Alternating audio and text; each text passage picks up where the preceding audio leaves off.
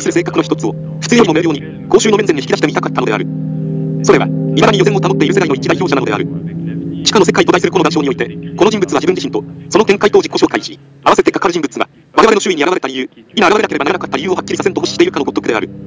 次の談笑においては、この人物が、自己の生活中のある事件を叙述した、本当の手記が始まるのである。フォードレ・ドストエフスキー。1、私は、病的な人間だ。私は、意地悪な人間だ。私は人好きのしない人間だ。これは、どうも肝臓が悪いせいらしい。もっとも、私は自分の病気のことなど、科学記事分かっていないし、それに、自分の体のどこが悪いのか、それさえ、確かなことはわからないのだ。私は、医術や医者を尊敬してはいるけれど、医療というものを受けていない。また、これまでもかつて受けたことがない。その上、おまけに、私は極端に迷信家なのである。まあ、いわば、医術など尊敬する程度の担ぎ屋なのである。私は迷信家にならないで済むくらいには、十分教育を受けているのだけれど、それでも、担ぎ屋なのである。何？意地でも、医者の治療なんか受けたくない。これなんぞは、確かに諸君の想像を絶することに相違ない。ところが、私にはそれが分かっている。この場合、私がこんな意地を張って、一体誰に面当てしようというのか、その件は私も、無論うまく説明ができない。私が、医者の治療を受けないからといって、それで、奴らを困らせるわけにはいかないのは自分でもよく承知している。そんなことをして損をするのは自分一人だけで、他の誰でもないということは、100も承知だ。が、それにしても、私が治療を受けないのは、やはり一杯のためなのだ。肝臓が悪いのなら、もっともっと、うんと悪くなるがいい。私は、もう前からこんな生活をしている。かれこれ20年にもなろう。今私は40だ。以前は勤めていたが、今は老老の身の上だ。私は意地の悪い役人だった。人に乱暴に当たって、それをもって心よしとしていた。何しろ、私は、賄賂を取らなかったのだから、せめて、それくらいの報酬は受けて叱るべきだったのである。これは悪いシャレだが、私はこれを訂正しないことにする。これを言うときには、なかなか辛辣に行きそうな気がしたものだが、今になってみると、ただ醜い、辛い場合がしたかったに過ぎない。が、意地にでも訂正しないでおく。私の陣取っていたテーブルのそばへ、人民どもが、いろんな問い合わせなどに寄ってくると、私は何々と、噛みつかんばかりに怒鳴りつけて、うまくなるかをと決めた時なんぞは、抑えきれないほどの満足を感じたものだ。しかも、それは大体うまくいった。彼らはおおむね、臆病な連中ばかりだった。言わずと知れた西岸人気質というやつである。が、ダンディレンの中には一人我慢のならない将校がいた。こいつは一家な降参しようとしないで、虫が走るほど軍刀を、サーベルを、ガチャガチャ鳴らす癖があった。私は、このサーベルのことで、奴と一年半ばかり戦争を続けたが、とうとう勝利はこっちのものになった。やっこさん、ガチャガチャをやめてしまった。ただし、これはまだ、私の若かった頃の話である。しかし、諸君、私の天の弱の主なる点は、どんなところにあったか、諸君に想像がつくだろうか。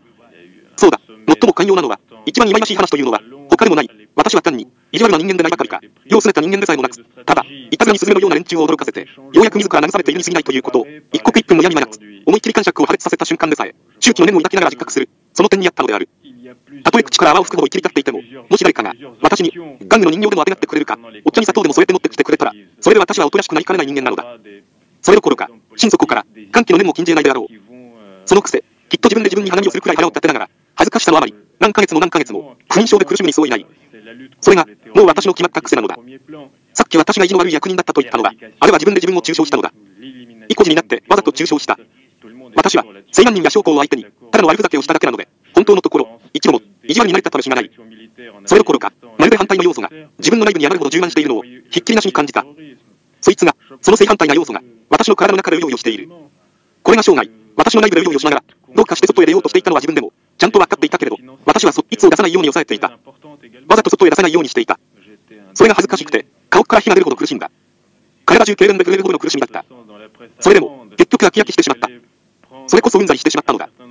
しかし、諸君、今私は何か後悔して、諸君に許しでも請うているように思われはしないだろうか？きっと、そう思われるに違いない。もっとも、誓って言うが、たとえそう思われたって、私には同じことなのだが、私は単に、意地悪な人間ばかりでなく、結局何者にもなれなかった。悪人にも、善人にも、卑劣漢にも、正直者にも、英雄にも、虫けらにもなれなかった。今や私は自分の片隅に、最後の日を送りながら、賢い人間は本気で何かになることはできない。ただ、バカな何かになるばかりだという、何の役にも立たない独々しい気休めで、自分で自分を愚弄しているって言ったらくだ。そうだ、19世紀の人間は精神的な意味で、もっぱら無性格な存在たるべき義務がある。ところで、性格を有する人物、すなわち、活動家はもっぱら、戦漠な存在でなければならない。これは、私の40年来の自説である。私は今40だが、しかし、40年といえば、これはもう、人間の全生涯だ。それこそ、もう、大変な老齢である。40年以上も生き延びるのは無作法だ。卑劣だ。不不道徳だ。一体誰が40以上も生きている正直に誠実に答えてみたまえ。では、私がそれに答えよう。バカと、ヤクザ者が40以上も生きるのだ。私は、ありったけの老人どもに、面と向かってそう言ってやる。世の尊敬を受けている、民髪に霜を置いた、保育福生きたる老人どもに言ってやる。世間の奴ら一同に、面と向かって言ってやる。私は、こういう権利を持っているのだ。なぜなら、私自身、60まで生き延びるからだ。70までも生き通すからだ。80までも生き続けるからだ。ちょっと待ってくれ。まず息を継がせてもらおう。諸君、おそらく諸君は、私が諸君を表すつもりでこんなことを言うのだ、と思っているだろう。とんでもない間違いだ。私は諸君の考えているような、あるいは諸君の考えられるかもしれないような、そんなのんき千番な男は決してない。もっとも、こんな饒舌に感触を起こした諸君は、どうも、私の直感では、諸君は感触を起こしているらしい。一体お前は何者だと尋ねる気持ちになられたら、私は、一個の八頭感だとお答えしよう。私はクワンがために、ただ、それのみのために、勤務していたが、去年遠い親戚の一人が6000ルーブルの金を遺言して死んでくれたので、私はすぐに辞表を提出して、自分の小さな片隅に閉じこもってしまった。私は末っから、この一部に住んでいたのだが、今度はそこに閉じこもってしまったのだ。私の部屋は汚い、ヤクザなもので、町外れにある。女中は田舎でのばあさんで、バカなために意地が悪く、おまけに、いつも嫌な匂いをプンプンさせている。私は、ペテルブルグの気候が健康に良くないし、私風情の貧弱なシルクでペテルブルグズが用するのは非常に骨が折れると、人から注意を受けるのだが、そんなことは自分で100も承知だ。それを、もっともらしく忠告する、経験と知恵の塊みたいな連中よりも、ずっとよく心得ている。が、それでも、私は、ペテルブルグに踏みとどまっているのだ。ペテルブルグを出て行きはしない。私が出て行かないわけは、ええ私が出て行こうと行くまいと、そんなことは全くどうでもいいではないか。それにしても、ちゃんとした人間が、心から満足しながら話すことができる話題というのは、そもそも何だろう答え、自分自身のことである。では、私も、一つ自分の話をしよう。に、ところで、諸君、私は今諸君が聞くことを望むにしろ、望まないにしろ、なぜ私が虫けらにさえなれなかったかというわけを、話して聞かせたいと思う。労働と言ってのけるが、私は今まで何度虫けらになりたいと思ったかしれない。けれども、私はそれにさえ値しない人間だったのだ。諸君、誓って言うが、あまり意識しすぎるということは、それは病気なのである。間違いのない本物の病気なのである。人間の日常生活にとっては、ありふれた世間何も意識だけでも、十分すぎるくらいなのだ。つまり、不幸な我が19世紀に生まれ合わせて、しかもその上に、地球上で、最も抽象的な作為的都市であるベテルブルグに住むなどという、とんでもない不幸を持ち合わせた、教養の高い人間に与えられた意識量の、半分どころか、4分の1もあったら、たくさんなのだ。実際、巻にも、作為的なのと、そうでないのとがある。例えば、いわゆる直情傾向の人とか、活動家などが、生活の元手としているような、あの程度の意識があったら、十分なのである。私は欠けてもいいが、諸君は私がこんなことを言うのを、辛い場のためだ。活動家のことで抵抗を吐くために、悪趣味な辛い場をして、例の諸行のように、サーベルをガチャつかせているのだと、こう考えているにそういない。しかし、諸君、自分の病気を自慢する者がどこにあろう。しかも、それを種に威張るなんて、もってのほかである。もっとも、私は一体何を言っているのだ。誰だって、それをやっているではないか。つまり、病気を自慢している。私などはおそらく、その最たるものだろう。とにかく、議論が予想。私の答弁などは馬鹿げて聞こえるから。が、それにしても、私は心から確信している。意識の過剰どころか、どんな種類の意識でも、意識は全て病気なのである。私はそれを主張する。けれど、この問題もしばらく置くことにして、一つ、こういう疑問に答えてもらいたい。どういうわけで私はいつも、最も大切な瞬間に、つまり、一時我々の間でやかましく言われた、すべての美しくして、公園なるもののあらゆる微妙な因縁を意識するのに、最も適当な心的状態に置かれた瞬間に、それを意識しようとはしないで、あのような見苦しい所業をやってのけるようなありさまになったのか。しかも、それは、まあ、それは一口に言えば、みんながやっていることかもしれないけれど、私としては決してやってはならないと、十二分に意識しているその瞬間に、当てつけがましくわざわざ頭に浮かんでくるのである。私は善だとか、例の美しくして、公園なるものだとかを、はっきり意識すればするほど、いよいよ深く実行の内部の泥沼にはまり込んで、まるで抜きも差しもできなくなってしまう。何よりも困ったことは、それが全て偶然でなく、どうしてもそうならざるを得ないように思われる点なのである。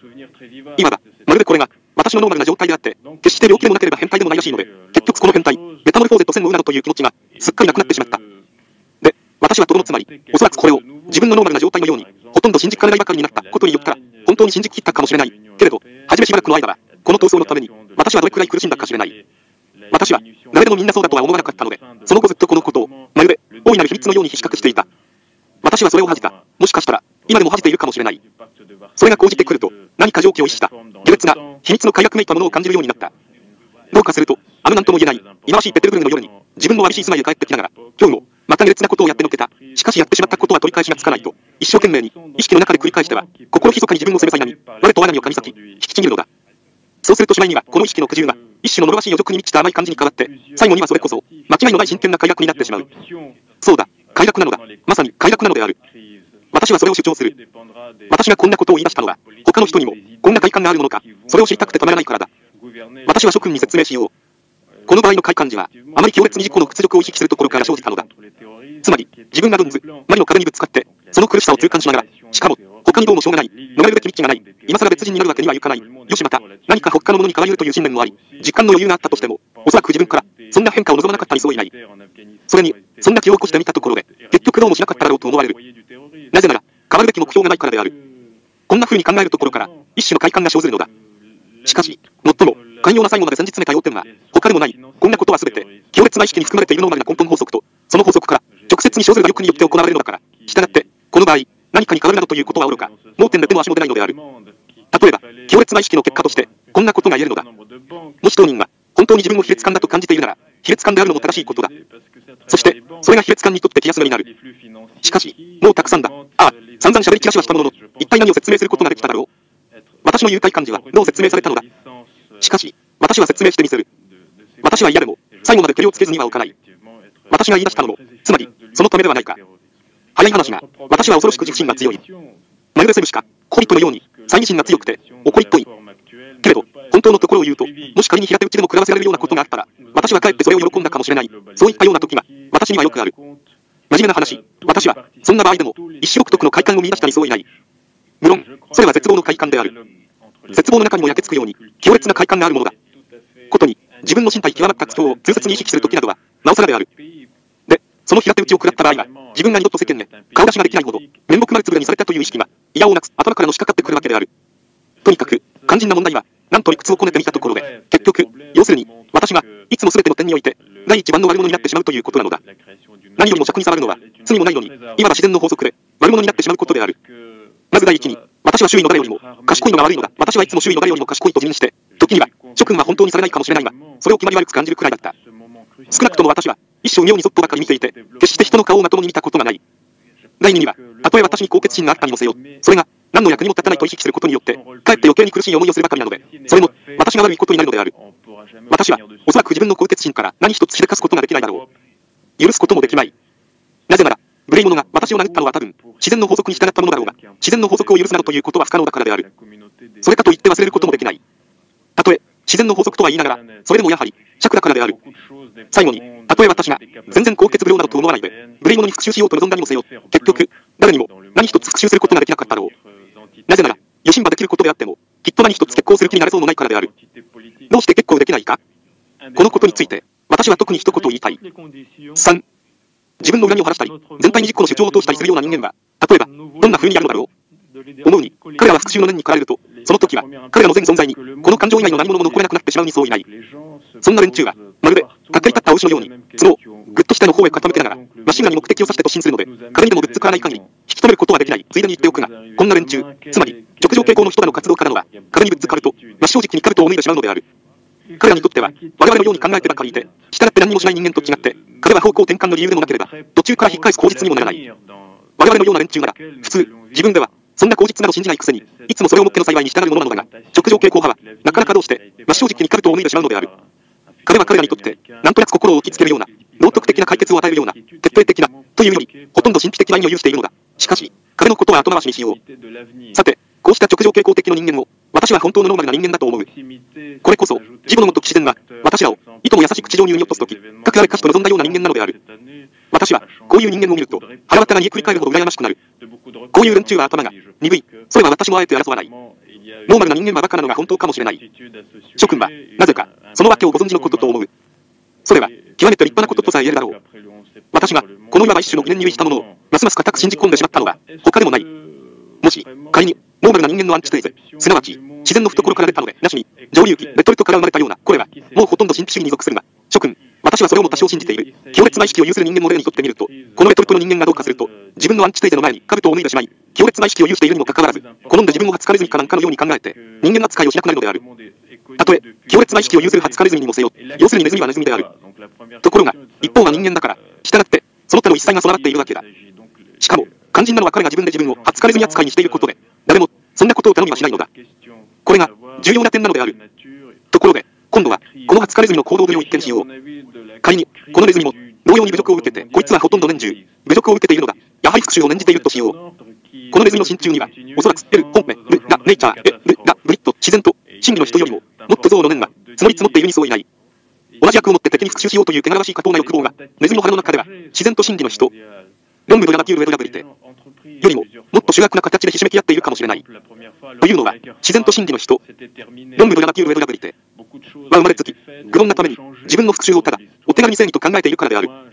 ところが、初カレズには強烈な意識のために、この場合、正義などというものを否定してしまう。そして、結局、仕事そのもの、復讐行為そのものに走ってしまうのである。不幸な初カレズには、最初しでかしたたった一つの手柄しい行為の他に、いろんな問題や疑惑といった形で、様々な手柄しいものを、自分の周囲に早くも、山のごとく積み重ねてしまった。数限りない未解決の問題を、一つの問題に持っていってしまうので、その場合には何かしら宿命的なゴッタシルが出来上がってしまう。このゴッタシルというのは、ネズミ自身の疑惑や反問を、はじめとして、裁判官や独裁官といった体裁で、その前に、威風堂々と控えながら、健康な喉を一杯に広げて、カラカラと笑い飛ばしている直情傾向的な人間どもの唾、こういうものでできている悪臭ふんふんたれどろどろみたいなものなのだ。無論ネズミはただ、一切を無視するように手を一つ振って、自分でも信じていない付け焼き場の軽蔑の微笑を浮かべながら、自分の穴の中へ見苦しく潜り込むより致し方がないのである。そこで、悪臭ふんふんたり忌まわしい床下で、侮辱と霊障に打ちのめされた我が初カレズには、早速冷たく毒々し、しかも、英語を消えることのない像に浸るのだ。40年くらいぶっ続けに自分の受けた浅ましい侮辱を、極めて、零細な点まで残りなく思い起こすのだ。そうして、その度に一層浅ましいディテールを勝手に付け足しながら、自分の空想で意地悪く自分を長老し、苛立たせるのである。我と、我が空想を恥じながらも、やはり一切のことを思い起こして、何度も何度も、心の中でこね返した挙句、こんなこともやはり起こる可能性があったのだというのを口実に、とんでもないことを考え出して、自分で自分を侮辱する。こうして、何一つ容赦しようとしない。たとえ復讐を始めるにしても、こちょこちょと小出しにこっそりやるので、自分の復讐の権利も、その成功も、まるで信じてはいないのだ。そして、自分の復讐の試みのために相手よりも、かえって自分の方が百層倍も苦しんで、戦闘がケロリと済ましているにそういないのを、前からちゃんと知り抜いているのである。臨終の床に横たわりながら、またしても、根こそぎやりったけのことを思い出すが、今度は長年の間に積もり積もった利息までが、おまけにくっついているのだ。そして、けれども、つまり、この冷ややから、忌まわしい、半ば絶望的な、半ば希望を像しているような状態の中に、焼け半分に、40年間も、意識的に自分を床下に生き馬にしたという、事実の中に、強いて作り出してはみたものの、多少怪しいところのある、こうした救いのない、境遇の中に、内向してしまった満たされざる欲望の毒素の中に、躊躇の木に永久からぬ決心を取ったと思う間もなく、すぐ、次の瞬間に湧き起こる開口の中に、こうした熱にでも浮かされたような混沌の中に、さっき私の言った不思議な快感の進展が像されているのである。それは、極めて微妙な、時とすると、意識で補足できないような事柄なので、少しでも頭に融通の利かない人間や、太い神経の持ち主などは、この問題になると、デンデラには何やらわからないのである。ことによったらと、諸君はニヤニヤ歯を向きながら、自分の意見を付け加えるだろう。一度も、平手打ちを食ったことのない連中も、やっぱりよく飲み込めないでしょう。こう言ったわけで、私が、今までの生涯で、おそらく平手打ちの一つくらい食ったものだから、そこで、この問題の通じなし口を聞くのだろうという意味を、遠曲に当てこするにそういない。諸君がそう思っているのは、賭けをしてもいいくらいである。しかし、諸君、来い、いよ休んぜよ。私はまだ平手打ちを受けたことはない。もっとも、この点、諸君が何と思おうと、私にとっては全くどうでもいいことなのだけれども、私はことによったら、今までの生涯で、自分から人に平手打ちを食らわせる度数が少なかったのを、残念に思っているかもしれないのだ。しかし、もうたくさんだ。諸君にとって何々なる興味を有するこの取材については、これ以上、もう一言も語らないことにしよう。そこで、今度は、快感の持つある種の繊細味を返しない神経の太い人間のことを冷静に語り続けるとしよう。こうした連中は、ある場合に、重要な事態にたまたま出くわすと、例えば、お牛のごとくの一杯にエッチ出して、そのために、非常な名誉を勝ち得るにはそういないだろうけれども、しかし前述したごとく、彼らは不可能なことにぶつかると、すぐおとなしくなってしまう。不可能もと、これはすなわち、石の壁なのか。では、石の壁とはどんなものなのか。それはま、あ、言うまでもなく、自然の法則であり、自然科学の結論であり、数学である。例えば、人間は、猿から進化したのだと証明されたら、もう顔をしかめたって始まらないから、そのまま頂戴しておかなければならない。また、自分自身の死亡の一滴は本質的に見て、農法の死亡の数万滴よりも貴重であらねばならぬ。したがって、あらゆる善行も、義務も、その他あらゆる偏見も、余い事も、この結論を基礎として解決されるべきである。と、こんな風に証明されたら、もはや仕方がない。やはりそのまま受け取らねばならない。何しろ、それは人なしであり、数学なのだから、うっかり口答えでもしようものなら、それこそ大変だ。とんでもないとみんな叫び出すだろう。反抗なんかするわけにはいきません。これは人なしなんだから。自然は君の意見なんか聞かしません。自然は君の希望がどうだろうと、自分の法則が君の気に入ろうと入るまいと、そんなことは無関心なんです。君は自然をあるがままに受け入れるべきで、従って、その結果をも、すべてありがたく頂戴しなければなりません。彼は取りも直さず、彼なんですよ。しかしかうんぬん、うんぬんえい、じれったい、私にはなぜか、この法則や、二人が死が気に入らないのに、自然律なの数学なのに、何の関わりがあるというのだ。無論、私は自分の主体で、この壁を打ち抜くことはできない。そんな力は、本当に持ち合わせがないのだから。けれども、私は決して、この壁とは目視やしない。なぜと言って、私の前に石の壁が突っ立っていて、しかも、私にそれを打ち抜く力がないという、ただ、それだけの理由でたくさんなのだ。こうした石の壁は本当に金星剤か何かで、事実平和をもたらす一種の呪文を含んでいるように、世間では考えられている。それはこの石壁が二人なしであるという、ただ、それだけの理由に過ぎない。お、なんという具の骨頂だ。それに比べると、一切を理解し、一切を意識し、すべての不可能もとや、石の壁を達観しながら、もし妥協が忌まわしく思われたら、その不可能もとや、石の壁のどれ一つとも妥協しない方が、どれだけ堂々として立派かわからない。どうしても避けることのできない論理的なコンビネーションの道をたどりながら、この石壁についても、なぜか自分に罪がある。などという永久不変のテーマに溺れて、思いっきり忌まわしい結論に到着する。もっとも、自分に何一つ罪がないのがここでも火を見るより、明らかなのだけれど、その結果、無言のまま力ない、花見を続け腹を立てようにも、結局、相手がないのをぼんやり考えながら、当然と惰性の中に感覚を麻痺させてしまう。実際、起ころうにも相手がない。あるいは永久にそんなものは出てこないのかもしれない。これは、いかさまカルタ氏がやるような普段の差し替えにしたってで何かごまかされているのだ。これは、もう何のことはない。本当のドルのドルが、何が何だか、誰が誰だか、まるっきりわからない。しかし、こうしたごった返しや差し替えに関わらず、やはりある痛みを感ずる。そして、わけがわからなくなればなるほど、ますます痛みがひどくなってくるのだ。4、わ、は、は、は、は、なるほど。してみると、君は普通にも、快感を見つけ出そうと言うんだね。と、諸君は笑いとともにこう叫ぶだろう。それがどうしたのだ？普通にだって快感時はありますよと私は答えよう。私は丸一つき、普通に悩んだことがあるから、確かに快感のあることを知っていますよ。この場合は無論、黙って、プリプリしているのじゃなくて、うなり声を立てるのだけれども、そのうなり声は正直なものじゃない。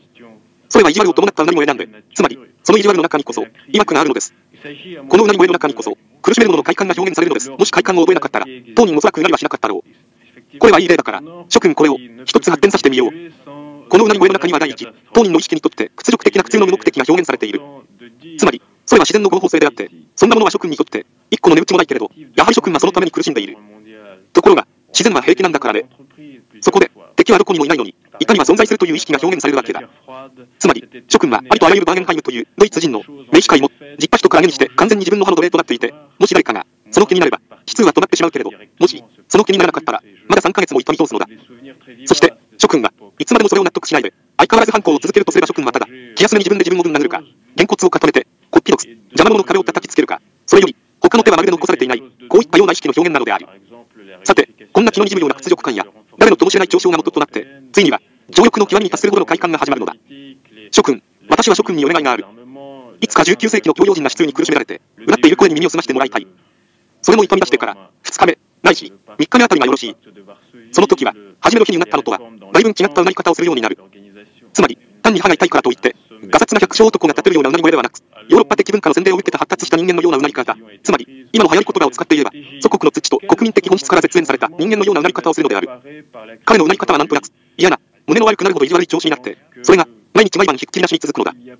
そんなにうなったところで、何の役にも立たないことは、当人もちゃんと心得ているのならず、ただ、いたずらに自他の成功を使わせ、いらだたしい気持ちにさせるばかりなのを、誰よりもよく知り抜いているのだ。彼がそれを目当てに骨折って、自分の苦痛を見てもらおうとしている公衆も、家族全体も、彼のうなり声を聞きながら、今ではもう、天王の念さえ抱くようになり、その真実さを、これから先も信じないで、妙な節をつけたり二行を凝らしたりしないで、もっと率直にうなることができそうなものだ。あれはただ、つらってくらいになって、悪ふざけしているだけの話だ、などと、腹の中で考える、それも、当人はすっかり知り抜いているのである。まあ、こういう様々な知識や屈辱の中に、情欲にも似た快感が含まれているのだ。言ってみれば、私はあなた方を悩まして、みんなの心をかきむしっている。そして、家中のものを寝させないようにしている。だから、みんな眠らないでいなさい。私は歯が痛いんだということを、あなた方も、一刻一刻やに話に感じるがいいんだ。以前私はあなた方の目に英雄らしく見られたいと思ったものだけれど、今ではもう嘘どころか、ただの汚らしい人間で、一個のぐらい感に過ぎない。なあに、それならそれで構わないさ。あなた方が、私の本性を見破ってくれたので、私は結構ありがたいくらいだ。あなた方は私の下品なうなぎ声を聞くのが嫌なんでしょう。ふん、それなら勝手に嫌がるがいい。今にもっと嫌な奴を、節をつけて聞かせてやるから。諸君、諸君はこれでもまだわからないだろうか。ダメだ。この快感のありとあらゆる夢を介するためには、深く深く徹底的に精神的発達を遂げて、そこのそこまで実覚し尽くさなければならないらしい。諸君は笑っているのか？それならこちらも愉快だ。諸君、私のシャレは無論、下品なところがあって、なだらかでなく、筋を外しがちで、おまけに、自分で自分を信じないような調子だが、しかし、それというのは、私が自己を信じないからである。一体、自意識の発達した人間が、いくらなんでも自己を尊敬するなんてできるものだろうか。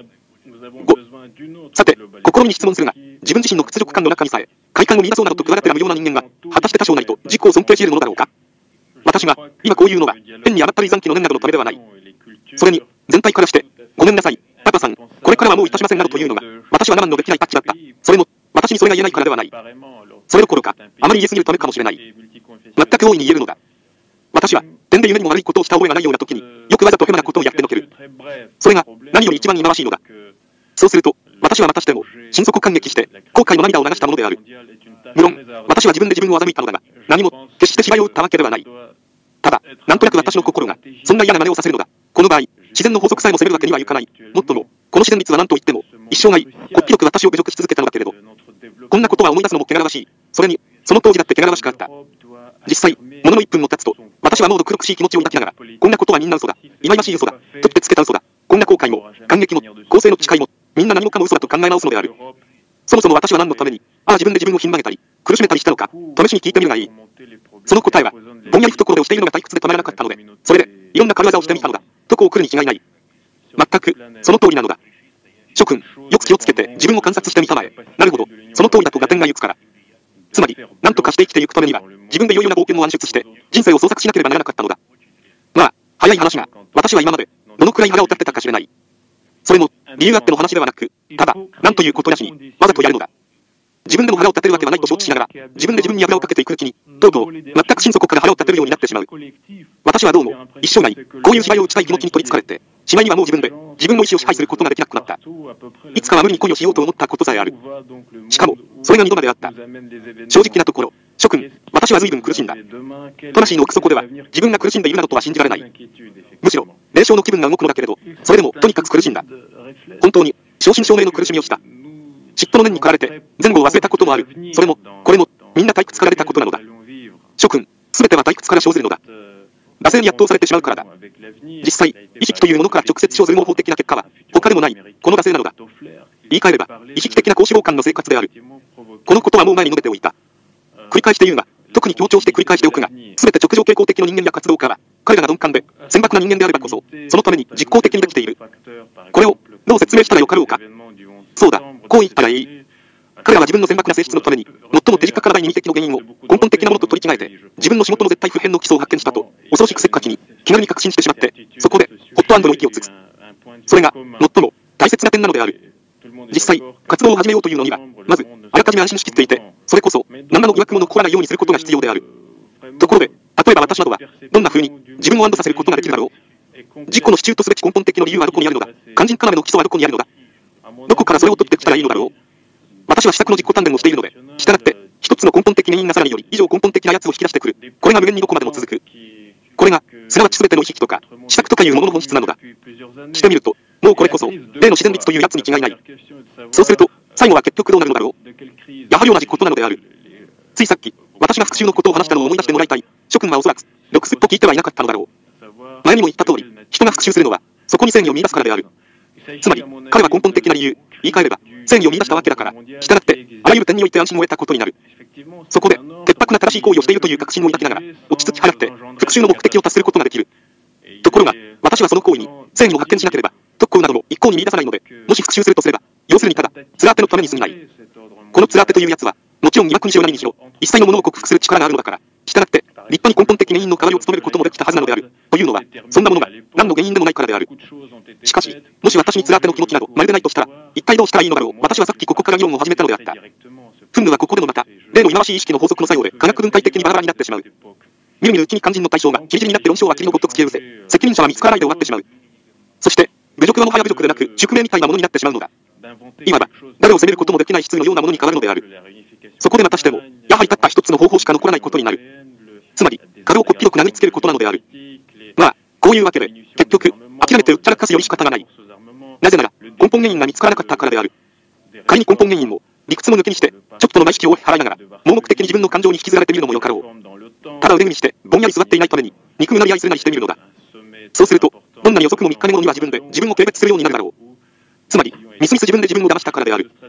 その結果として残るのは、ただ、シャボン玉と惰性ばかり。ああ、諸君、私が、我から賢者を持って自認しているのは、生涯何一つ始めることも完成することもできなかったからである。何私がおしゃべりだって構わない。みんなと、同じような毒にも、薬にもならない厄介なおしゃべりだって少しも構うことはない。しかし、もし、あらゆる賢者の直接にして、唯一の使命が饒舌にあるとしたら、語りを変えて言えば、恋に、空虚な議論をこね回すことだとしたら、何とも致し方がない、ではないか。6、お、もし、私の無意が、単に怠惰のためであったら、ああ、その時私は、どんなに自分を尊敬したかわからない。たとえ怠惰にもせよ、あるものを、自己の内部に持つことができたという、その点に対する尊敬なのである。つまり、たとえ一つだけでも、自分で確信のできるような、積極的な性質を持つことになるではないか。あれは、一体何者だと人が尋ねたとき、怠け者だと答える。自分に関して、こんな表現を聞くのは、きっといい気持ちのものに相違ない、怠け者。これは、実に一個の肩書きであり、使命であり、履歴である。冗談じゃない。全く、その通りなのだ。その時こそ、私は第一流のクラブの堂々たる会員で、絶えず自分自身を尊敬するだけが仕事なのだ。私はある紳士を知っていたが、その人は株同種、ラフィットの2であることを一生自慢にしていた。そして、これを押しも押されもしない人間的長所と心得、かつて己に疑いを差し挟んだことがない。彼は、穏やかな良心どころか、さながら勝ち誇れるなどと気良心を抱いて死んでいったが、それはまさに的を得たことと言わねばならぬ。もしそれが私だったら、ちゃんと、生涯の方針を立てたにそういない。私は、怠け者の大くらいではあるけれど、ありふれたものとは違って、曰くつきのもの、例えば、すべての美しくして、公園なるものに同情する怠け者の大くらいなのである。諸君、いかがです？これはお気に入りませんか？私はもう前からこれを無双していたのだ。この美しくして、公園なるものは、40年間恐ろしく、私の首根っこを押さえつけていた。しかし、それは、私の生涯の40年間だけれど、その時は、お、その時は、すっかり話が別だったにそういない。私は早速もっと、適当な活動を見出したことと思う。他でもない、すべて美しくして公園なるものの、健康のために、祝杯をあげることである。私は、あらゆる機会にしがみついて、まずはじめ自分の杯に、一滴の涙を注いだ後、すべての美しくして、公園なるもののために、それを飲み干したにそういない。その時は、この世の一切を美しくして、公園なるものに変えてしまい、思いっきり汚らしい疑う余地のないヤクザなものの、中にも、美しくして、公園なるものを見つけ出したろう。私は濡れた海面のように、涙っぽくなってしまったろうと思う。例えば、一人の画家がげ、ニコライ・ニコライビッチ。ロシアの画家、1831から94年、そこの毛の絵を描いたとすれば、私は早速、その芸そこの毛の絵を描いた中の健康を祝して飲むだろう。なぜなら、すべての美しくして、公園なるものを愛するからである。一人の作家が、みんなそれぞれお好きなようにという本を書けば、私はいきなり、誰のでも構わず健康を祝して飲む。なぜなら、すべての美しくして、公園なるものを愛するからだ。私はそれに対して、他人の尊敬を要求し、私に敬意を表さないものを懲らしめてやるつもりだ。平成に生きて早朝に死んでいく。これは素敵ではないか。実に、素敵なことではないか。私はその時、思いっきり、大きな腹を突き出し、あの30になるほど太らせて、赤っ鼻をうんと油ぎらせてやるのだ。すると、出会う人が、みんな私を見て、なるほど、これは有益な人材だ。なるほど、これこそ、本当に肯定的な現象だ。というに違いない。諸君、諸君は何と言われようとも、この否定的な時代に、こうした批評の言葉を、聞くのは、実にこの上なく愉快なことなのである。7。しかし、それはみんな、おめでたき空想に過ぎない。ああ、一体誰が真っ先にあんなことを言い出したか、それを聞かせてくれ。人間が汚らしい行為をするのは、ただ、自己の真の利益を知らないからである、などと言ったのは、一体何者だ？この手合いの考え方によれば、人間というものはその知性を啓蒙してやって、本当のノーマルな利益に目を開いてやったら、すぐに汚らしい行為をしなくなって、全量潔白な人間になりすますにそういない。なぜなら、啓蒙された知性を持ち、自分の本当の利益というものが分かったら、前方のうちに、己の利益を見出すからだ。どんな人間だって、みすみす自分の利益に反するような行為をするはずがないから、いわば必然的に善を行うようになるわけだ。とこうなのである。ああ、なんという子供らしい考え方だ。ああ、まるで純潔無邪気な赤ん坊の夢だ。第一、快楽以来ただの一人でも、単に己の利益のみのために行動した人間があるだろうか。人間というものは、みすみす自分の本当の利益を承知しながら、それを二の次にしてしまって、誰にも、何者にも強制されているわけでもないのに、別な冒険の道へと信じてゆく。これを証明する無数の事実を、一体どうしたらいいというのだ。人間は指定された道を正直に踏んでいくのが嫌さに、それと違った骨の折れるバカバカしい道を、ほとんど暗闇で手探りしないばかりの苦労を重ねながら、我から、好んで強情に開拓していく。してみると、この強情とわがままは間違いなしに、どんな利益よりも、気持ちがいいわけである、利益。そもそも、利益とはどんなものか？人間の利益は、果たしてどのあたりに損するか？それを諸君は絶対正確に定にし得る自信を有しているか？ところで、もし万一人間の利益なるものが、自己に有利なことでなく、不利を欲することに帰着するとしたら、一体どんなものだろう？もしそうだとしたら、もし、この万一の場合ばかりが起こるものとしたら、すべての法則はコッパに人に消し飛んでしまうわけだ。一体、こんな場合がちょくちょくあるものか？諸君はどう考えられます？諸君は笑っていますね。笑いとまえ、諸君、しかし、ただ、一つお返事が聞きたい。一体、人間の利益というものは、絶対正確に計量されているだろうか今まで、いかなる分類にも当てはまらなかったのにならず、全体に当てはまれないような利益は、果たして存在しないだろうか諸君、私の承知している限りでは、実際のところ、諸君は人間の利益台帳を編成するのに、統計表の数字や経済学の方式の平均数を取ってきたのではないか。諸君の利益というのは、他でもない、幸福とか、富とか、自由とか、安寧とか、まあ、そういったようなものを指すので、従って、こういったような利益の台帳を無視して、意識的にそれに逆行する人間は、諸君の考えによると、いや、もちろん、私の考え方によってって同じことだが、そんな人間は南米雇用な機械化主義者か、それとも、正真正銘の聞きないということになるのだろう。そうではないかけれど、ここに不思議なことがある。こうした統計学者や賢者や人類愛を標榜する連中が人間の利益を算出する際に、いつも一つの利益を見落としているのは、一体どういうわけだろう当然取り入れなければならないはずなのに、それを感情に入れようとしない。ところが、そこで全体の帳尻がすっかり狂ってくる。ちょっと考えれば、何も大したことではないから、その利益を取り上げて、表に記入さえすれば良さそうに思われるが、ただ、この厄介な利益はいかなる分類にも当てはまらないし、どの表にも入らないので、そこに難関が損するわけである。例えば、私に一人の友達がある。あ、諸君、この男は諸君にとっても友人なのだ。それに、誰だってこの男の友人でないものはない。この先生は、仕事に取り掛かるに際して、早速縦板に水を流すごとくとうとうと、理性と真理の法則に従って行動するには、どうしたらいいかということを、諸君に説明して聞かせるだろう。のみならず、本当のノーマルな人間の利益を、興奮と熱情に満ちた調子で連じ立てた上、自分の利益も、特攻の死人も介しない禁断者流の親からを、軽蔑したり非難したりするにそういない。ところが、やっと、15分くらいしか経たないうちに、突然これというきっかけもなく、ただ、一切の利益よりも、強い力を持った一種の内部衝動に駆られて、まるっきり別な突飛なゲートを演じるのだ。つまり、たった今自分が喋ったこととは明瞭に正反対なことをやり出す。理性の法則にも、自分自身の利益にも、それから、一口に言えば、あらゆるものに反したことをやり出すのである。断っておくが、私の親友というのは集合名詞的存在だから、この男一人だけを責めるのは、ちょっと具合が悪い。諸君、つまり、ここのところなのである。事実、ほとんど全ての人にとって、最上の利益よりも、まだ尊いような何者かが存在していないだろうか。それとも、論理を犯さないように言い直せば、何より、最も、有益な利益が存在するだろうか。これは、さっき言った一般に見落とされている利益であって、他のいかなる利益より、最も大切であり、有利なのである。この利益のためには、人はもし必要とあらば、一切の法則に逆行することを辞さない。つまり、理性、名誉、安寧、幸福、一口に言えば、こうした全ての美しく有益なものに逆行しても、ただ、自分にとって最も貴重な、この根本的な、最も有利な利益を獲得することさえできればいいのだ。ふん、それなら、やっぱり利益には違いないじゃないか。と、諸君は私の言葉を遮るだろう。しかし、失礼ながら、我々はお互いにまだ十分話し合わなければならない。それに問題は地口じゃない。この利益の特色は、一切の分類を破壊し、人類愛論者が人類の幸福のために設けた体系を残らず叩き壊してしまうところにある。要するに、この利益は全てのものの邪魔をする。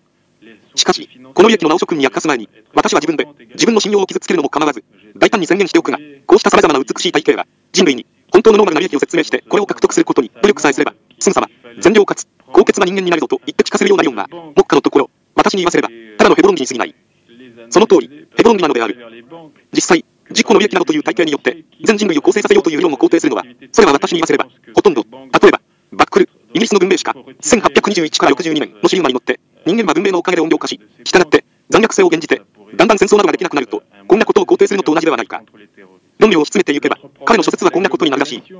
しかし、人間というものは、体系とか抽象的機能とかに終始すぎて、ただ、自分の論理を全然がためには、見えるも見えず、聞けるも聞こえずというようなやり方で、故意に真実を曲げることさえしかねなくなってしまった。私が、この例を引くのは、それがあまりに明瞭な実例だからである。まあ、一つ自分の周囲を見回してみたまえ。潮が川をなして流れているばかりか、おまけに、シャンパンカランゾのように、さも愉快らしく吹き出しているのだ。これが、諸君の賛美する19世紀であり、バックルの生きていた時代である。まだナポレオン、かの偉大なる現代人ナポレオンも控えているし、永遠の連邦国たる北アメリカという例もある。それから、最後に、かの国境がめいた示すべき、ホルシュタイン問題。一体文明は、人間の内部のいかなる性質を和らげるというのだ。文明はただ、感覚の多面性を発達させるばかり、それ以外の何者もありゃしない。この多面性の発達を突き詰めていくと、人間はおそらく気の中に快感を発見するようになるだろう。いや、実際その通りになったのだ。諸君は気がおつきになったか知らないが、最も洗練された流血魔は、ほとんど一人の例外もなく、最高の文化によくした連中ばかりで、こんなのに比べると、かの精霊を馳せているアッチラカンとか、スチュンカラージンなどといったような手合いは、まるで足元にもつかない場合も珍しくない。ただ、この連中は、アッチラカンやスチュンカラージンほど華々しく人目につかないのは、要するに、彼らがあまり頻繁に、その辺をうろうろしているのが見慣れすぎて、当たり前のようになってしまったからである。少なくとも、文明のおかげで、人間が一層地に植えてきたと言われないまでも、確かに昔より汚らしい植え方をしてきた。昔は流血の中に正義を見出して、両親の山下を感じることなしに、当然制裁すべき人間も殺戮したものだ。ところが、今我々は流血を汚らしいことと考えているくせに、やはりその汚らしいことをやっている。しかも、昔より、もっと大じっかけにやっているのだ。一体どちらが悪いかそれは、諸君のご判断にお任せする。連ぬるところによれば、クレオパトラは、両足などから霊を引くのをご容赦願いたい好んで、女奴隷たちの胸に、金の針を突き刺し、彼らが叫び声を立てたり身をもがいたりするのに、快感を覚えたそうである。諸君はこれに対して、そんなことは比較的に見ると、野蛮時代のことだと言われるだろう。それに現代だって、やはり比較的に見れば、野蛮時代だから、今でもやはり、人の体に針を立ててもいる。その上、人間は、野蛮時代より、はっきり物を見ることを覚えたとは言いながら、未だに理性や学問の示す通りに行動することを、一向に習い覚えていないのだ、と、こんな風に言われるにそういない。しかし、それにしても諸君は心の中で、古い悪習がなくなって、常識と科学が、人間の本性を完全に再教育し、常識を指導するようになったら、必ず習い覚えるに違いないと、確信を抱いておられるはずである。諸君の確信に従えば、その時には人間が自ら転んで、過誤を犯したり、自分の意志を、ノーマルな利益と、同着させたりするようなことは、自然、なくなるはずである。そればかりか、諸君に言わせれば、その時は科学そのものが人間を共同して、もっとも、私に言わせれば、それはあまり贅沢すぎる話だが、人間はかつて自由意志も、気まぐれも持たなかったように、すっかり、そういうものが影を潜めてしまい、人間自身はピアノの鍵盤か、オルゴールの国みたいなものになってしまう。それどころか、この世界には自然の法則というやつが現存しているので、人間が何をしてみても、それは決して、自分の意欲によって実行し得るのではなく、自然の法則によっておのずとできていく、と、こういうことになる。したがって、ただ、この自然律を発見しさえすれば、もう人間は自分の行為に責任を持たないで済むから、生活が恐ろしく楽になってしまう。その時は全ての人間の行為が、自然と、この法則によって、数学的に分類され、まるで対数評価欄像のようになって、その数およそ10万8000に上り、年間の中にも編入される。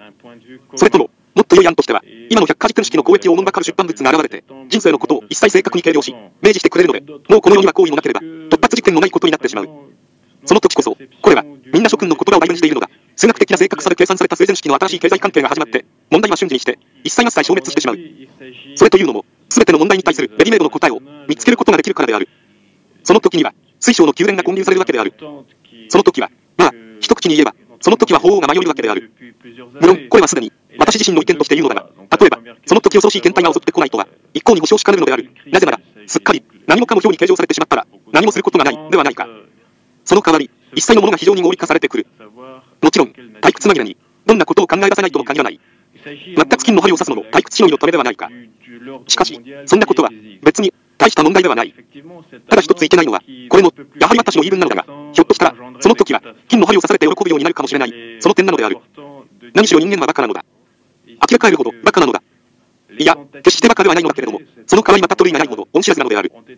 だから、例えば、何かこう恩知らずな、というより、介護的な、人を小高にした顔つきの紳士が出し抜けに、何のきっかけもなく、見渡す限り分別で充満しているような未来の世界のただ中で、両手を腰にやって肘を張りながら、一郎に向かって、どうだね、諸君、この分別臭い世界を、人思いに足で蹴飛ばして、コッパ二人にしてしまったら、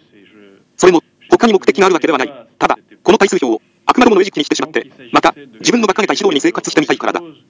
などと言い出したにしても、私は一向に驚かないつもりだ。実際、これくらいなら、大したことはないのだけれど、必ず模倣者が出てくるに違いない。それが困りものなのである。また、人間は、そういう風にできているのだ。これというのも、みんな口にする価値さえ、なさそうに思われるほど、くだらない原因から起こるのだ。他でもない。人間は、たとえ何者であろうとも、時と場所とを問わず、自分のしたいように振る舞うのが好きなので、利や利益の命ずると心に従うのは、決して本望ではないからである。意欲するということは、自分自身の利益に反してもできるばかりか、時によると、断然そうしなければならないことがある。これはもう、私の思想なのだ。自分自身の自由勝手な意欲、たとえ、どんなに突拍子もないことでも構わない。とにかく自分自身の気まぐれ、時には気違い抜くほど興奮したものでも構わない。ともあれ、自分自身の空想、これこそすなわち、世間の人の見逃している最も、有利な利益なのであって、こればかりは、どんな分類にも当てはまらず、また、こいつのために、一切の体系やイオンが、コッパ二人になってしまうのである。あの賢人などという連中が、誰も彼も、人間には何かしら蒸気にかなった特攻的な意欲が必要だと決め込んでいるのは、一体どこから割り出したのだろう。なんだって彼らは、ハンデをしたように、人間には必ず合理的に有利な意欲が必要だなどという、変な妄想を起こしたのだろう。人間に、必要なのは、ただ、独立する意欲だけであって、この独立なるものが、どんなに効果につこうとも、どんな結果をもたらそうとも、叶ってはいられないのである。いや、全く、この意欲というやつは、途方とてつもない代物なのだ。8、わは、は、は。だって、意欲なんていうものは、本当のところ存在しやしないんだ。もしお望みなら申しますがね。と、諸君は大声に笑いながら、こう遮るだろう。科学は今日でさえ人間を、すっかり解剖し尽くしたので、今ではもう周知の事実になってしまったじゃないか。意欲とか、いわゆる自由意志とかいうものは、ただ、その、諸君、待ちたまえ、私自身も、そういう風に切り出そうと思っていたところだ。正直なところ、私はひょっとしたくらいなのだ。私はたった今、威力なんて、全く得体も知れないものに左右される代物だが、しかしそれも結局、好都合かもしれない、とこう怒鳴ろうと思ったのだけれど、ふと科学のことを思い出したので、それで、やめてしまった。ちょうどそこへ諸君が話し出したというわけだ。全くそうじゃありませんか。ね、もし、本当にいつか我々の意欲や気まぐれ全部の方式を発見してしまったら、つまり、それらのものが何に左右されるか、一体、どういう法則によって発生するか、どんな風に蔓延するか、また、各国の場合にはいかなる方向に進んでいくか、といったような問題について、本当の数学的な方式を発見してしまったら、その時は、おそらく人間はすぐに意欲することをやめてしまうだろう。いや、確かにやめてしまうにそういない。ね、表によって意欲するなんて、何が面白いものかね。そればかりでない。その時人間は早速人間でなくなって、出回しオルガンの国か、ないし、それに類したものになってしまうだろう。だって、希望も意志も欲望もないような人間は手回しオルガンのシリンダーについている国でなくって、一体なんだというのだ。諸君は一体どう思う？そんなことが起こり得るかどうか、一つ可能性を数え上げてみようじゃないか。ふむ、と諸君は結論を下すだろう。我々の意欲は、我々の利益に関する誤った見解のために大部分は間違っている。我々が時として、とてつもない馬鹿げたことを望むのは、つまり、我々が馬鹿なために何か前もって仮定した利益を獲得する一番楽な道筋が、この馬鹿げた行為の中にあるように思うからだ。そこで、こういうことがすっかり解き明かされて、神の上で計算されてしまったら、こういうことも大いにあり得る話だ。なぜと言って、ある種の自然法則は決して人間に知られる時がない、などと、頭から信じきってしまうのは、忌々しいことでもあり、無意味なことでもあるのだから、その時はもちろん、いわゆる欲望なるものは存在しなくなるだろう。もし、いつか意欲が理性と、こっそり談合し完全に合意してしまったら我々はその時意欲しないで、理性の働きに従うだろう。というのは、例えば、理性を完全に保ちながら、無意味を欲するのは、みすみす理性に逆らって、自分の害になることを望む結果になるので、そんなことをするばかはないからである。全くいつかそのうちには、いわゆる自由意志の法則が発見されるだろうから、すべての意欲や理性判断が、本当に細かく計上されるかもしれない。すると、当然、冗談は抜きにして、本当になんか表のようなものが出来上がるかもしれない。すると、我々は、本当に、この表通りに意欲するようになる。例えば、私がある人に赤んべをしてみせたとする。そうすると、それは私が赤んべをしないといられないからそうしたので、しかも必ずある決まった指を使わざるを得なかったのだというふうに、正確な計算の上で証明されるとすれば、その時は、一体、どんな自由が、私に残されることになるだろう。ことに私がなくされ、どこかの学校の家庭を修了していたら、なおさらおかしい話ではないか。実際そうなれば、自分の生涯を向こう30年間くらい、きちんと割り出すことができようではないか。一口に言えば、もし、そういうことが実現されるとすれば、我々はもう何にもすることがなくなってしまう。どちらにしても、理解だけはしなければならないのだ。それに、全体として、我々は売ることなしに、こういうことを、四十腹の中で繰り返していなければならない。これこれの瞬間に、これこれの状況においては、自然は、我々の意向など考慮してくれないから、こっちで勝手に空想しているような風でなく、あるがままの自然を受け入れなければならない。で、我々が、本当に、こうした表や、年間や、それから、例の上流期、レトリットさえも、目標として進んでいくものとすれば、仕方がないから、レトリットさえも受け入れるべきである。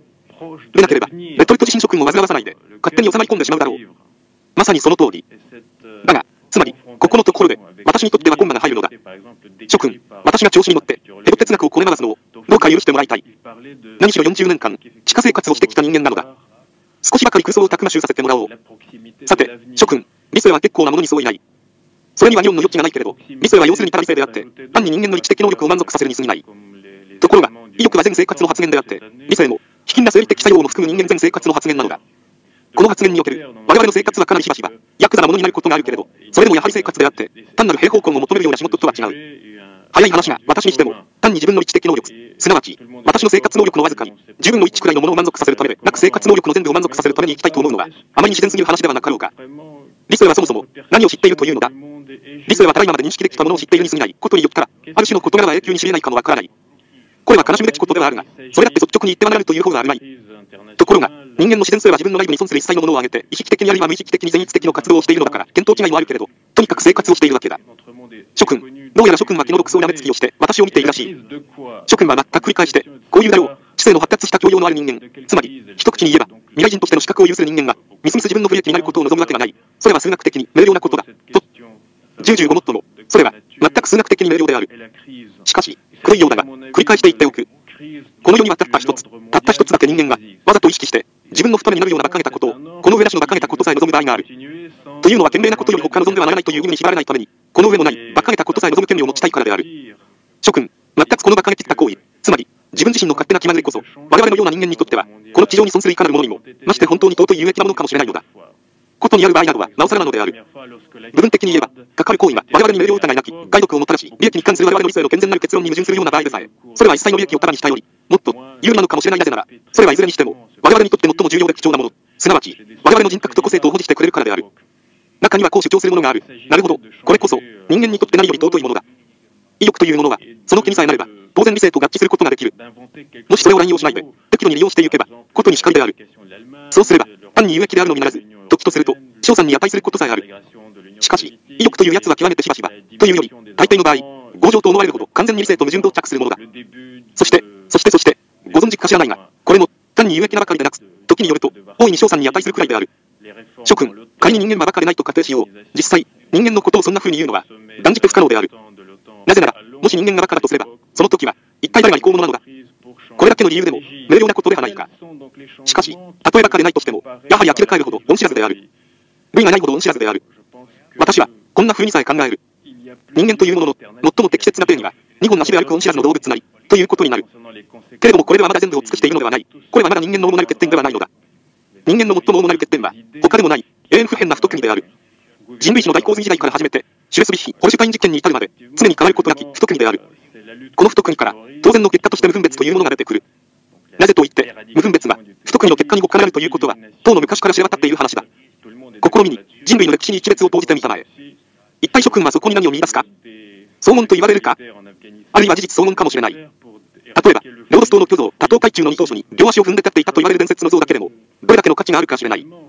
アナーフスキー氏、アファナーシー・エブロキーノビチ、文学史上で、有名な文学教、1866年没は、それについて、あるものはそれを人口によって作られたものだといい、またあるものは自然そのものの創造物のごとく主張すると述べているのは、言うなきことではないのである。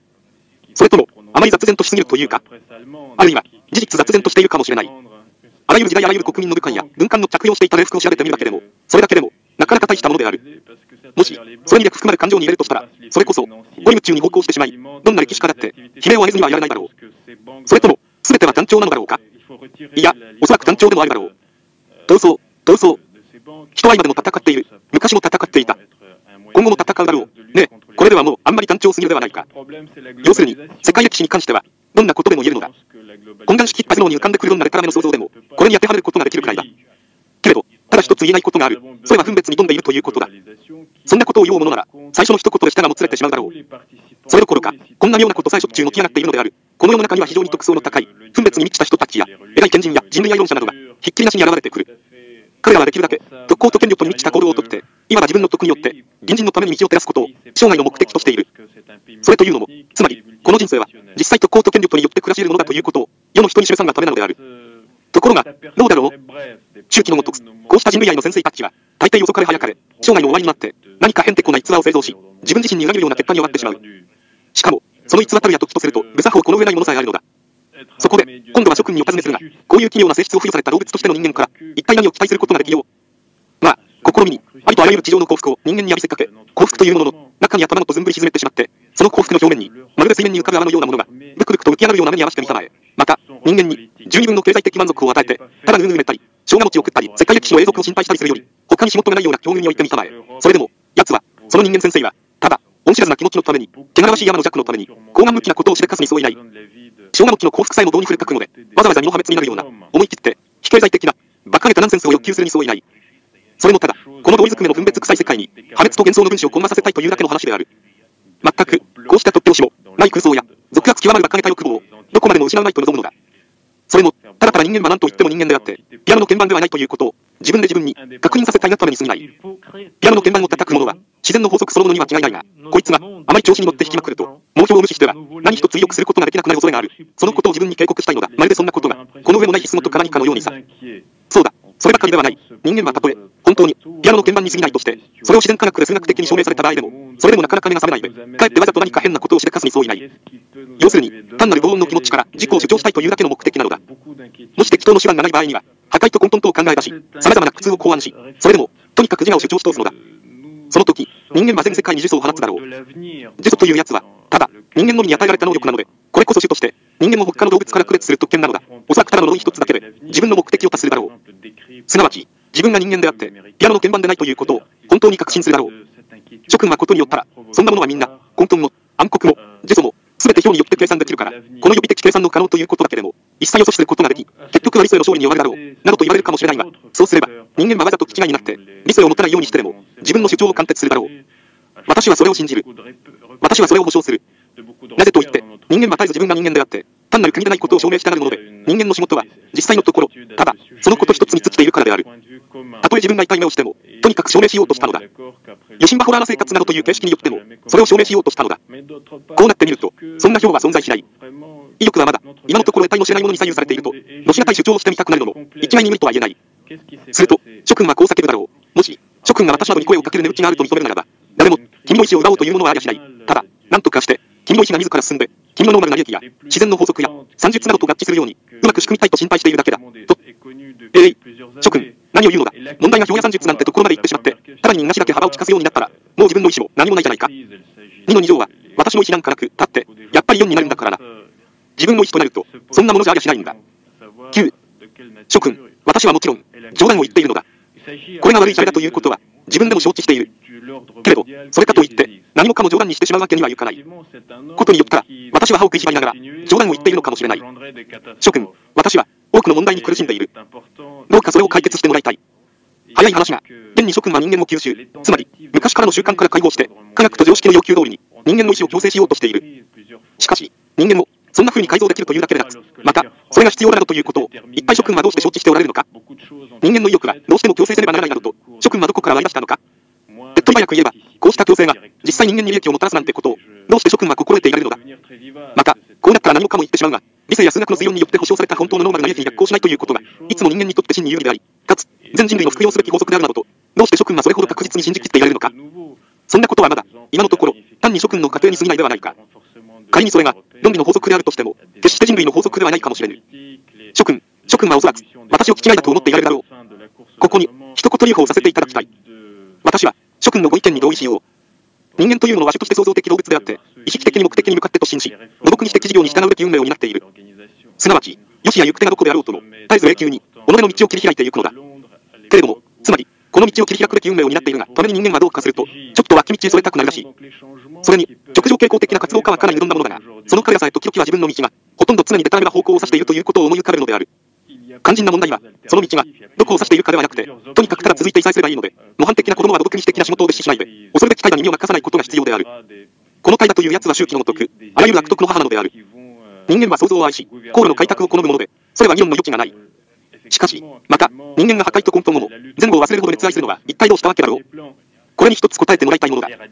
けれど、このことについては私自身も、特に一言言いたいと思う。人間が、それほど破壊と混沌とを愛するのは、それは、今更論ずるまでもないことで人間はどうかすると、夢中になるほど破壊を愛する。それは、まさにその通りなのだ。他でもない。つまり、目的を達して、自分の作っている建物を完成するのを本能的に恐れているからではあるまいか。諸君はご存じないかもしれないが、人間は自分の建物を、ただ、遠くの方から愛するだけで、決して近く寄って愛玩するものではないらしい。人間はそれを建設することにの見合いを持って、その中に住むことを好まないのかもしれない。建ててしまうと、あとは、その建物を AUX、アニマルクス、ドメスティックレス、家畜どもに、例えば、アリとか、羊とか、そういったようなものに任せてしまいたいらしい。原理愛などは全然変わった好みを持っている。彼らはこれにした一つの驚くべき建物、永久に壊れることのない建物を持っている。つまりこれはアリ塚を指す。この尊敬すべきアリどもはまず、アリ塚からことを始めたので、また、きっとアリ塚で終末を告げるにそういない。それは、彼らの堅忍不罰の精神と確実性とを証明することで、非常な名誉と言わなければならない。けれど、人間という奴は軽薄で、下品な動物だから、ちょうど将棋指しと同じように、ただ、目的に達する経路を愛するのみの目的そのものはどうでもいいらしい。実際、全人類が精進している地上の目的なるものは、とごと、この目的獲得の滞在プロセス、すなわち、生活そのものの中に含まれているのであって、目的それ自身の中には存在しないのかもしれない。それは誰しも、保証のできないことである。目的なるものは言うまでもなく国人が死べ、公式以外の何者でもない。ところが、諸君、二人が死は、もはや生活ではなく、死の始まりに過ぎないのである。少なくとも人間はいつも妙に、この二人が死を恐れていたが私は今でも恐れている。余震は人間はこの二人が、死の発見を唯一の仕事にして、この探求のために対応を及び渡ったり生命を犠牲にしているにもせ、よ本当に探し当てること、発見することは、誓って言うが、なんとなしに怖いのだ。つまり発見してしまえば、もうその時は何も探すものがなくなると直感するからである。労働者なら仕事を終えると、少なくとも金をもらって、居酒屋へ出かけていき、その後で、警察のご厄介になる。これでまあ、一週間ぐらいの暇つぶしにはなろうというものだ。ところが、人間は一体どこへ行ったらいいのだろう少なくとも、そういった風の目的を達するたびに、その都度、何か、具合の悪いところが感じられる。人間は到達を好むにはそういないけれども、しかし、完全に到達してしまうのは考え物なので、これは、無論恐ろしく滑稽なことにそういない。手っ取り早く言えば、人間は滑稽に出来上がっているのだ。これには、どうやら地口がかっているらしい。しかし、二人が死という奴は、何と言っても、実に我慢のできない代物である。二人が死、これなどは私に言わせると、ただ、人を馬鹿にした代物なのだ。二人が死は、おっちょこちょいのような格好をして、両手を腰に当てたまま、人の行く手に立ち塞がりながら、ペット唾を吐いているという感じだ。二人が死が、立派なものだということには、私も依存がないけれど、しかし、いっそ何もかも褒めることにするなら、二人がこの時によると、愛嬌のある代物なのだ。一体諸君はどういうわけで、それほど固く、しかも書きごっこったような態度で、ただ、モーマルな積極性を持ったもの、一口に言えば、ただ安寧無事というものだけが、人間にとって有利などと、信じきって疑わないのだろう。一体理性は、断じて、未来の判別を誤らないだろうか。実際人間が愛しているのは、安寧無事ばかりではないかもしれないのだ。人間は苦痛というものを、やはり同じくらいに愛しているのではあるまいか。ことによったら苦痛の人間にとっては、安寧無事と同じくらいに有利なのではあるまいか。人間はどうかすると夢中になるくらい、恐ろしく苦痛を愛するものだ。それは間違いのない事実である。この場合、今更世界歴史など調べるまでもない。もし諸君が人間で、いくらかでも生活したことがあるなら、自分の胸に聞いてみるがいい。私の意味はどうかといえば、ただ、安寧無事のみを愛するのは、なんとなくぶしつけにさえ思われる。良いにせよ悪いにせよ、何かをぶち壊すということは、時によると、やはり愉快千番なものである。私は、この場合、何も、特別に苦痛の方を持つのでもなければ、安寧無事の弁護をするわけでもない。私が主張するのは、自分の気まぐれというものと、その気まぐれが、いつでも、必要な時に間違いなく保証されているということである。苦痛というやつは、例えば、ボードビルなどにはご採用にならない。それは私も承知している。推奨級の中となると、そんなものは点で考えることもできない。悔やめは疑惑であり、否定であるが、疑惑の余地があるようなものだったら、それは、もはや、推奨級でも何でもないのだ。ところで私は確信しているが、人間は本当の苦痛、言い換えれば、破壊と混沌とを決して拒もうとしないものである。苦痛、これこそ、実に自意識の唯一の原因なのだ。私はこの手記の初めで、自意識は人間にとって最大不幸であると、ご不意調申し上げたけれども、人間が、その不幸を愛して、いかなる満足にも見返ろうとしないのを、私はちゃんと知っている。自意識というものは、例えば、二人が死よりも、無限に優れているのだ。二人が、死の後では、もう言うまでもなく、何一つすることがなくなるばかりか、知ることさえ尽きてしまうのだ。その時になって成し得るすべてのことは、ただ、自分の五感を塞いで、瞑想に沈むだけのことだろう。ところで、自意識を保っていれば、結果から言えば、同じになってしまうけれど、つまり、やはり何もすることがなくなってしまうけれど、少なくとも、時々自分で自分をぶん殴ることはできる。これは何と言っても、多少気付けにはなるのである。大栄的ではあるけれど、それだって何もない、よりはマシに違いない。10、諸君は永遠に壊れない、不への推奨級を信じておられる。つまり、内緒で舌を出してみせたり、それの陰で、そっと赤んべをしたり、そんな真似のできない建物を信じておられる。ところで私はそれが推奨でできていて、永久に不へのものであり、おまけに、内緒で舌を出してみせることもできないので、そのために、この建物を恐れるのかもしれない。そこで、こういうことを考えてみてもらいたい。もし、宮殿の代わりに鶏小屋があって、そこへ雨が降ってきたとしたら、私はおそらく体を濡らさないために、鶏小屋の中へ入り込んだろう。しかし、それでも、鶏小屋を宮殿などとは考えはしない。というのは、雨宿りをさせてくれたことに対する感謝のためである。諸君は一生につしてしまって、この場合、鶏小屋も、宮殿も同じことだ、とこんな風にさえ言われるだろう。すると、私はこう答える。その通り、もし、ただ濡れないための身に、生きなければならないとしたら。けれど、もし私が、人間はただ、それのみのために生きているのではない、いっそ生きるくらいなら、宮殿で暮らすのが本当だ、などという妄想を起こしたとすれば、一体どうしたものだろう。それは、私の意欲なのだ。それは、私の願望なのだ。諸君は私の願望を取り替えたときに、初めてこの考えを、私の頭の中から削り取ることができるのだ。さあ、取り替えてもらおう。代わりのもので、私の目をくらましてもらおう。別の理想をあてがってもらおう。が、今のところ、私は鶏小屋を宮殿に受け取りなんかしやしない。たとえ水晶球が空中楼閣で、自然の法則から見て、そんなものはありえないとしても構わない。そんなものは、私自身の愚かさのために、現代の古臭い非合理的な習慣の結果、私が自分で考え出したものであっても構わない。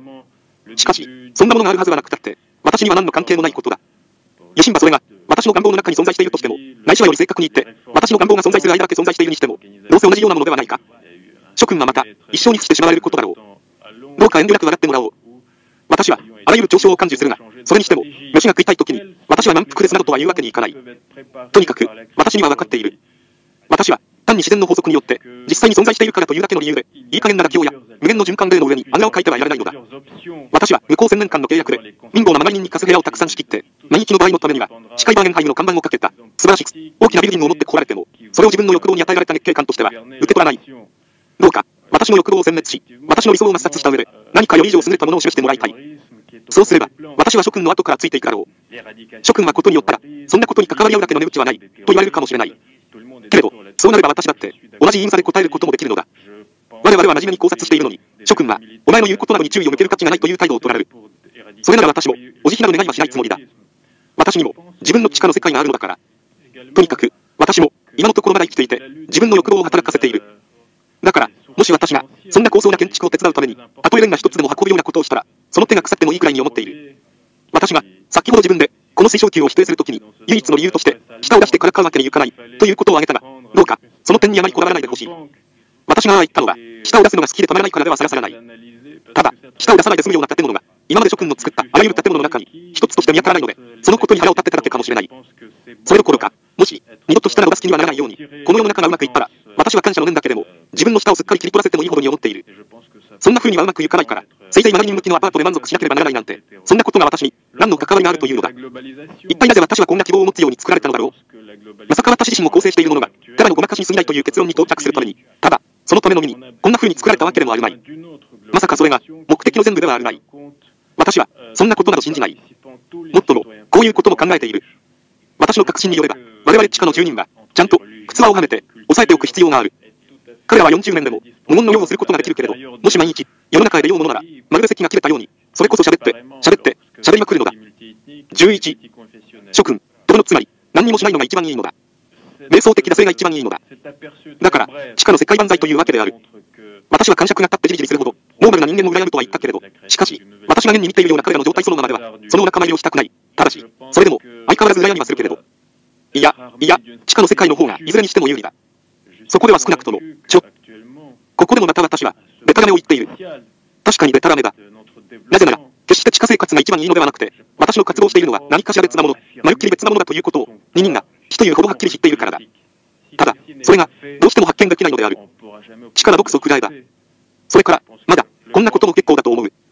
他でもないが、私が今言ったことの中で、何か一つでも、自分で信じることができたら、どんなにいいかしれない。諸君、地下っていうが、私は今書き散らしたことを、一言の、それこそ、ただの一言も信じてはいないのだ。というより、信じているのかもしれないけれど、どういうわけか、自分ではずうずしいホッダを吹いているような感じがする。そんな気がしてしょうがないのだ。では、何のためにこんなことを言ったのだと、諸君はこう言うだろう。何？私は諸君を、ものの40年も、一切仕事をさせないで閉じ込めた上、40年の期限が切れた時、諸君が、どういう結果に到達されたか、それを伺いに近いお尋ねしてみたいと思うのです。一体40年も、人間もたった一人で、仕事もさせずに売っちゃっておいていいものでしょうか？それは恥ずかしいことじゃないかね。それは卑怯なことではないかね。おそらく諸君は蔑むように頭を振りながら、私に向かってこう言うだろう。君は生活に鉄棒しているものだから、自分で人生の諸問題を混乱した論理で解決しようとしているのだ。君の突拍子も、ない言い草は、いかにもこううるさくって生意気千番だけれども、同時に、君は実に戦々恐々としているじゃないか。君はバカなことばかり言って、それで満足しているのだ。君は、素敵なことを口にしながら、しかも、のべつそれをビクビクして、言い訳ばかりしているではないか。君は何にも怖くないと公言を強いるくせに、それと同時に、我々の関心を買おうとしている。君は摂氏役はしてると主張しているが、同時に我々を表すために、くだらぬダジャレを振り回している。君は自分のシャレが、シャレになっていないのを承知しながら、しかも見受けたところ、その文学的価値に大満月の体だ。君は本当に苦しんだことがあるかもしれないが、自分の苦痛を、いささかも尊敬していないのだ。君という人には学びはあるけれども、処女性がない。君は思いっきり、きっとけな虚栄心に駆られて、自分の真実を見せびらかし市場へ持ち出して、恥さらしをしている。君は本当に何か言いたいくせに、君の念のために、最後の言葉を隠しているのだ。それというのも、君はそれを生きるだけの決断力がなくて、ただ、臆病なずうずしさしか、向き合わせていないからだ。君は自意識を自慢しているが、本当はただ、小見春春しているだけだ。なぜって、君の内部では理性こそ働いているものの、心は陰頭に曇らされているからだ。純潔な心がなかったら、完全な正しい意識もありはしない。君は何といううるさい男だろう。君は実に教えばかり従って、芝居じみと真似をしたがる人間だ。虚偽、虚偽、ことごとく虚偽だ。もちろん、こういった諸君の言葉は、みんな私が、今自分で創作したのだ。これも、やはり地下生活から生じたのである。私はそこで、40年間ぶっ通しに、こういった風な諸君の言葉を、物の隙間からこっそり盗み聞きしていたのだ。私はそれを自分で考え出したのだ。事実、こんなことばかりが頭に浮かんでくるのだから、自然それで暗記されて、文学的な形式を取るようになったのも、あながち不思議ではないのだ。しかし、果たして諸君は、私がこれを、すっかり印刷して、おまけに、それを諸君に読ませるつもりだなのと、そんな想像をするほど、軽はずみな人たちだろうか。それから、もう一つ私には疑問がある。本当に私は何だって、あなた方を諸君などと呼ぶのだろう。また、何だって本当の読者にでも向かうような態度を、あなた方に対して取っているのだろう。私が、これから叙述にかかろうと思っているような告白は、印刷すべきものでもなければ、他人に読ますべきでもない。少なくとも、私はそれだけの確固たる意志を持っていない。また持たなければならんとも考えていないのだ。しかし、実のところ、私の頭に、一つの空想が浮かんできたので、是が非でも、それを実現したいと思う。それは、こういうわけなのである。どんな人の追憶の中にも、少数の親友を除いては、誰にも打ち明けたくないようなことがあるものだ。それどころか、親友にも打ち明けることができないで、ただ、自分自身にだけ、しかも、ごく内緒に告白すればするような、そんなことすらもあるのだ。ところが、さらに一歩進めて、自分自身にさえ打ち明けるのを恐れるようなことさえある。そういうことは、どんな身分のいい、ちゃんとした人でも、いい加減たくさん増えていくものである。というより、むしろちゃんとした人であればあるほど、ますます、そういうことが多くなるのだ。少なくとも、私自身なども、過去に起こったある種の出来事を追想してみようと決心したのは、つい不可能のことで、それすら今日に至るまで、一種の不安さえ感じながら、いつも避けるようにばかりしていたのだ。ところが、単に追想するばかりでなく、手記に残そうとさえ決心した今となっては、果たして自分自身に対して完全に、赤裸々な態度を取り、一切の真実を恐れないということができるかどうか、それを実験してみたいのである。ついでに言っておくが、ハイメの断言するところによると、正確な自伝というものはありえない。人間は自分自身のこととなると、間違いなく嘘をつくものだそうである。彼に言わせれば、例えば、嘘などの、その残念力の中で、いつも必ず自己中傷をやっている、虚栄心のために、わざと嘘をついているのだ。私はハイメの説を正しいと信じる。私にはよくわかっているが、時によると、ただただ虚栄心のための身に、大それた犯罪を捏造して、それを自分の仕業にすることもある。そして、これが、いかなる種類の虚栄心であるかも、十分に了解ができるのである。しかし、ハイメは講習の面前で懺悔する人間のことを論じたのだが、私はただ、自分自身のための身に言っているのだ。そこで、きっぱり断っておくが、私は読者を前に置いたような表現もしているけれども、それはただ、見てくれだけの話で、つまり、そうした方が言いやすいからである。それは形式、ほんのつまらぬ形式だけである。私には、決して読者などできっこない。このことはもう、ちゃんと声明しておいた。私は、この手記の体裁については、一切何者にも拘束されたくない。順序とか体系とかいうものを取り入れない。ただ思い出すままを書きつけていくのだ。ところで、諸君は私の言葉尻を捕まえて、例えば、もし君は、当に読者を念頭に置いていないとすれば、順序も体系も取り入れないとか、ただ思い出すままを書き留めるのだとか、そういったような条件を、自分一人で、おまけに紙の上で取り決めるのは、一体、何のためだろう？どういうつもりで君は、そんな説明をするのだ？どういうわけで、そんな言い訳をするのだ？と、尋ねるかもしれない。さあ、それはどうもと私は答えるだろう。もっとも、これには込み入った真理があるのだ。ことによったら、それは、単に私が臆病者だということかもしれない。が、またことによったら、私のこの手記をしたためるとき、できるだけ作法を守るために、わざと自分の眼前に公衆を想像しているのかもしれない。とにかく、原因は無数に存在しているのだ。しかし、まだこういうことがある。一体私は何のために、どういう目的で書こうとしているのだろう。もし、公衆のためでないとしたら、何も、わざわざ紙に移したりしないでも、心の中ですっかり思い起こすだけで差し支えないではないか。それはなるほど、その通りだが、しかし紙に書くと、なんだかずっと早朝になってくるようだ。そうすると、何かもっともらしく見えるし、自己批判も行き届くだろうし、うまい言葉もおのずと出てこようというものだ。そればかりでなく、私は手記を書いていくということによって、実際気持ちが軽くなっていくのである。早い話が、現に今日のある古い追憶が、格別、私の心を押し付けるのだ。それはもう、2、3日前からはっきりと記憶に蘇って、それ以来まるでうるさい音楽の節のように、こびりついて離れようとしない。ところが、こいつは振り離してしまわなければならないのだ。私には、こういった追憶が何百とやつあるのだが、どうかすると、その、たくさんの中から、何か一つひょっこり浮かび出して、私の心を圧迫するのだ。私は、どういうわけか、それを紙に書きつけたら、自然と離れていくものだと信じている。だから、それを試してみてもよいではないか。最後の理由として、私は退屈なのだ。私はいつも何にもしていない。ところが、物を書くということは、本当に仕事らしく感じられる。仕事をしていると、人間は全量で正直になるという。まあ、少なくとも、これは一つのいい機会だ。今雪が降っている。ベタベタに濡れた、黄色い、濁ったようなやつだ。昨日もやはり降ったし、2、3日前もやっぱり降った。私はこの、ベタ雪の連想から、今私の頭にこびりついて離れない例の逸話を思い出したらしい。そこでこれは、ベタ雪の連想からできた物語としておけ。